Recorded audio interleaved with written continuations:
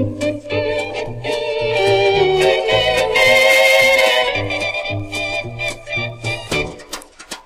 het gaat om brood beleggen, Zwanenberg, Zwanenberg, meer hoef ik niet te zeggen. Zwanenberg, Zwanenberg.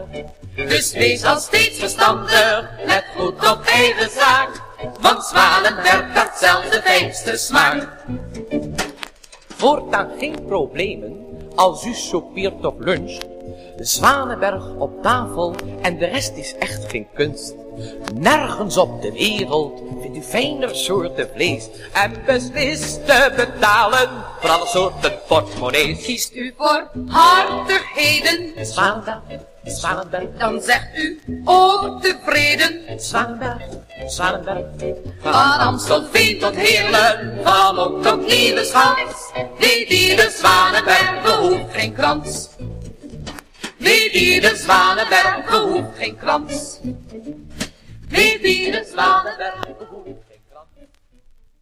En beste mensen, zeg eens eerlijk, hoe vond u onze show? Gezellig, hè? Zou een reclametelevisie, op deze wijze gebracht voor iedere Nederlandse kijker, niet bijzonder verfrissend werken? Vast en zeker. Oh ja, eh, voordat ik het vergeet te zeggen. We komen ieder jaar weer bij u terug. Natuurlijk met een gloednieuwe show. Als u er dan ook weer bent, dan zou dat natuurlijk reuze leuk zijn. Weet je wat? Laten we afspreken tot ziens. Natuurlijk. En voor dit jaartje, bon appetit, mevrouw.